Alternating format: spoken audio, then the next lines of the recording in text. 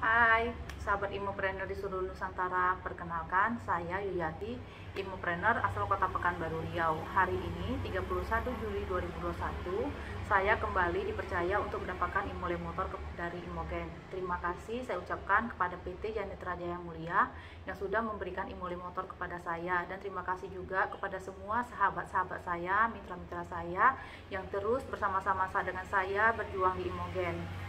Imogen layak untuk kita berjuangkan. Imogen Jos. Salam satu komando.